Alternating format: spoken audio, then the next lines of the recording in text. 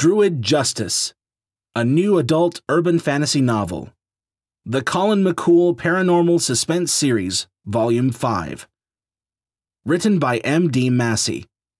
Narrated by Steven Barnett. Chapter 1 I sprinted between two cars, doing my best to stay ahead of the thundering footsteps behind me. The source of those footsteps was an enormous ogre, one who took great delight in tossing large objects at me as I zigzagged through rows of wrecked vehicles. With speed born from a desire to avoid death by angry ogre, I ran for my life while keeping an eye out for OFOs, ogre impelled flying objects. And just why was I being chased by an ogre in the dead of night through my Uncle Ed's glorious yard of junk? Because Finnegas the Seer, druid extraordinaire and my mentor in all things mystic and arcane, had thought it would be the perfect training exercise for yours truly. This entire demented exercise was about forcing me to use the magic Finnegas had taught me in the months since I'd returned from Underhill. While I normally preferred to fight my way out of trouble, we'd recently concluded that I needed to develop other options. So, I had to end this Finn's way, the Druid way. Well, at least there are plenty of places to hide around here, I thought. Too bad the environment also makes for excellent ogre ammunition. Junkyards were great locations for playing hide and seek, and my uncle's salvage yard was no exception. When wrecked cars arrived, we left them in the front lot while we sold parts off each car, a little at a time. Once they'd been stripped clean, those vehicles would be added to the stacks in back, where they waited to be crushed into neat cubes of scrap for recycling. But for now, those junkers would serve as cover for my retreat, and hopefully prevent my pursuer from smashing me like an empty beer can before I figured out a way to stop him. As I scampered between cars, the ogre ran on top of them, giving him a distinct advantage in the speed department. I'd have done the same, but I was in my human form, so even a glancing hit from a flying engine block would ruin my day. Yet I knew I couldn't keep this up forever, and shifting into my Hyde side wasn't an option. I'd been having issues with it of late, which made me hesitant to let that side of me loose. Suddenly, the booming cadence of cars being crushed by size 20 feet stopped. A quick glance over my shoulder revealed that the ogre's foot was stuck in the moonroof of an old Datsun 240Z. Sensing an opportunity for a peaceful resolution, I turned around to try to reason with him while I had the chance. Once I got a good hard look at my pursuer, I couldn't help but question the wisdom of that decision. The ogre was around eight feet tall and had shoulders half as wide, but he was mostly human looking despite his size. His head was topped by a wild rat's nest of shoulder length chestnut hair above a ruddy, almost boyish face. His brown, soulful eyes glowered beneath a thick, protruding forehead, and his crooked yellow teeth were on full display as he roared, struggling to free his foot from the Datsun's roof. Contrary to the rest of his appearance, the ogre wore a ratty Elmo t shirt that stretched across his prodigious chest and belly, and a filthy canvas tarp that he'd wrapped around his loins like the world's largest diaper. Honestly, he'd have been kinda cute if he wasn't trying to kill me. Now, now, big guy, let's take a moment to sort this out. There's no need for this to get ugly. The ogre freed his foot while I was talking, then cut me off mid sentence by flinging the detached bed of an 82 Chevy truck at me like a frisbee.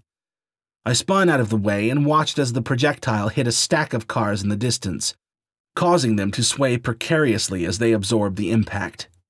Worried that they might cut off my escape if they fell, I kept one eye on the stack and the other on the ogre as I did my best to calm him down.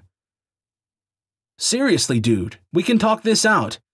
I know Finnegas told you something about me that really pissed you off, but believe me, the old man is lying.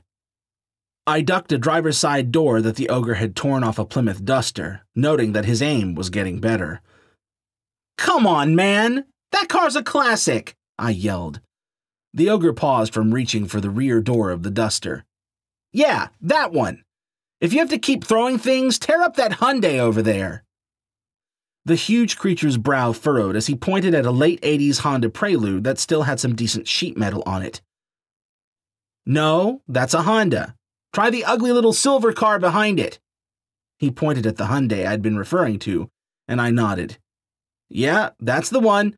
It's a worthless piece of junk, so feel free to tear pieces off it to your heart's content. The ogre shrugged, then began pulling on the Hyundai's front bumper. Now, as I was saying, I'm sure we can sort this out. The beast yanked the bumper off with a metallic pop and a crunch.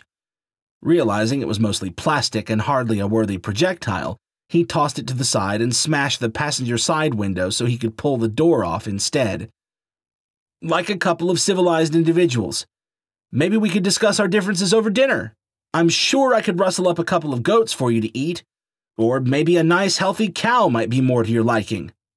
The ogre roared even louder than before just as he yanked on the door again. Just my luck to be chased by a vegan ogre, I thought. All right already! Forget that I mentioned farm animals, okay? We can just do some salad and bread. I know this awesome little Greek place that makes the most amazing tzatziki sauce. Lots of vegetarian options there. The ogre cocked his head, again pausing in his efforts to remove the Hyundai's door. Now, time to reel him in. You like that idea, huh? So, how about I go pick us up some feta salad, a little falafel, with some sides of baba ganoush, tabbouleh, and hummus? Then we can sit down and enjoy a nice meal and work this whole thing out. Heck, I'll even skip ordering chicken for myself. What do you say, big guy? As soon as I mentioned eating chicken, the ogre tore the door from the Hyundai with a single mighty pull. He turned those baby browns on me, glowering as he huffed and puffed. Whether that was in anger or exertion, I couldn't be certain. With a snort and a grunt, he crushed the car door between his hands, forming it into a roughly basketball sized sphere of jagged metal. Nope, that's definitely anger. Here we go.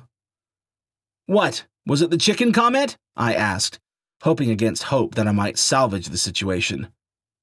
He compressed the car door down to the size of a volleyball, scuffing the dirt with his feet like a bull ready to charge. Well, I guess that answers my question. And just when we were starting to make progress, the ogre opened that huge mouth of his and roared. Despite the twenty feet or so between us, I could smell the stench of his breath, which reeked of wild garlic and canned beans. He bounced the ball of metal once in his right hand then palmed the sphere in both of his ginormous mitts. I backed up on the balls of my feet, preparing to dive out of the way at the very last instant. So, I guess this means no Greek food?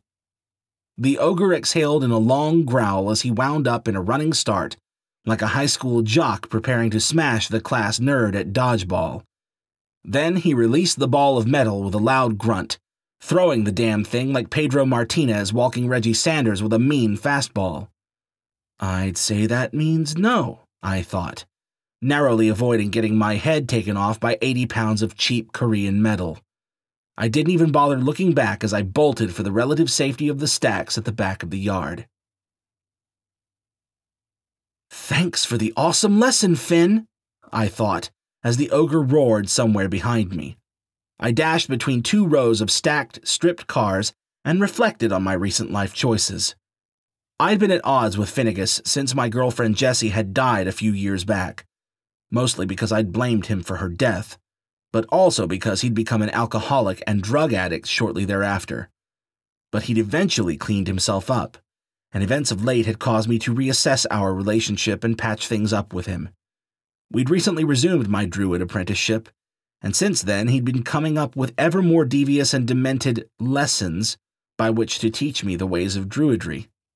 Tonight's lesson apparently involved a lot of running, ducking, diving, and rolling to avoid being turned into hamburger by a 700 pound ogre named Elmo.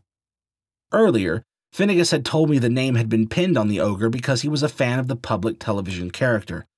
My mentor had also mentioned that Elmo kept a quite extensive collection of memorabilia featuring his eponymous idol in his burrow beneath a trash dump near Rocco the Redcap's trailer park.